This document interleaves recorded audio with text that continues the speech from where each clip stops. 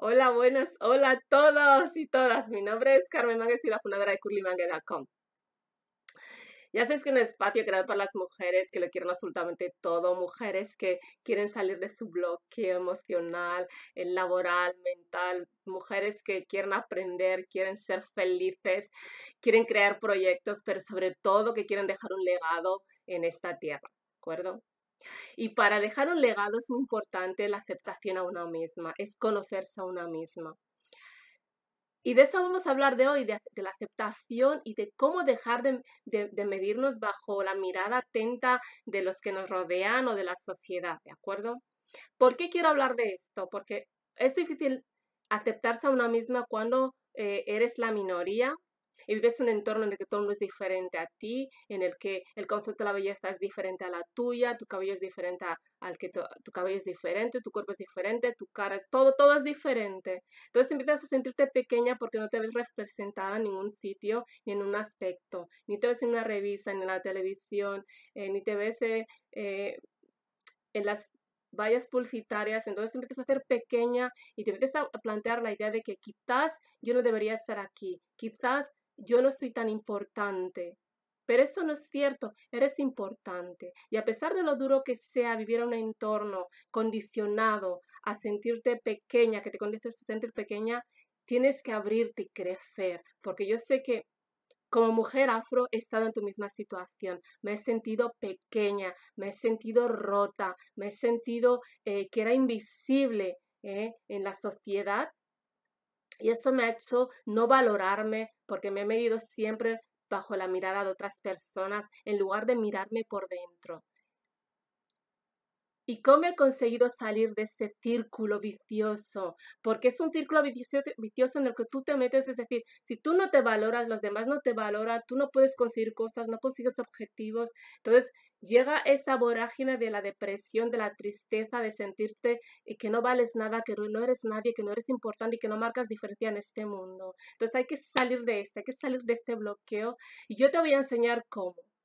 La primera norma es, número uno, Nunca te juzgues bajo la mirada de los demás, ni siquiera de la familia. ¿Vale? Ese es el punto súper importante. Punto número dos, nunca te compares con nadie porque tú nunca sabes el proceso de vida de esa persona. Punto número tres, todos tenemos derecho a equivocarnos porque todos tomamos decisiones en ciertos momentos en los que creemos que es lo correcto. Y hacemos lo que creemos que es lo correcto, aunque luego nos demos cuenta que metimos la pata. Ese es punto número tres. El punto número cuatro es ayudarte a solucionar esa falta de autoestima que tienes, esa falta de motivación, esa falta de aceptación que tienes como mujer afro. ¿Y cómo lo voy a hacer? Pues te voy a ayudar a través de cursos y talleres en el que te voy a guiar, te voy a dar las herramientas para que tú misma descubras ese gran potencial que tienes dentro porque lo tienes. Eres capaz de ser creativa, capaz, de amar, capaz de ayudar a los demás, capaz de, de dejar un legado en este mundo, un legado hermoso, un legado que los demás van a aprender. Quinto, y la primera cosa que voy a hacer para que vayas trabajando en, esa aceptación y en, esa, y en ese dejar de, mirarte por el prisma de los demás, es darte una serie de pautas muy sencillas. Y va a ser con un cuaderno, ¿vale? Este es un cuaderno. Un cuaderno normal, blanco, ¿vale? Que me compré el otro día en CaixaForum, que me encantó. Fui a ver Tosca que es una ópera maravillosa de Puccini, me emocioné, lloré, fue impresionante.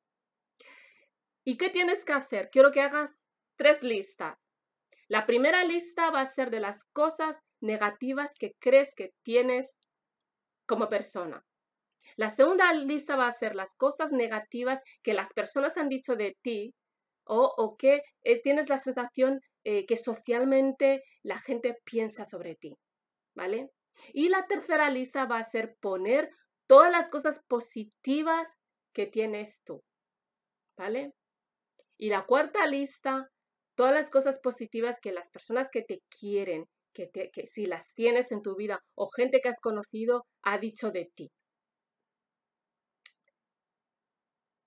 Vas a darte cuenta que la lista de lo que tú piensas sobre ti, la lista negativa y la otra lista negativa sobre lo que las personas piensan de ti coinciden. ¿Por qué? Porque muchas veces la mayoría de las cosas negativas que pensamos de nosotros han sido transmitidas ¿eh?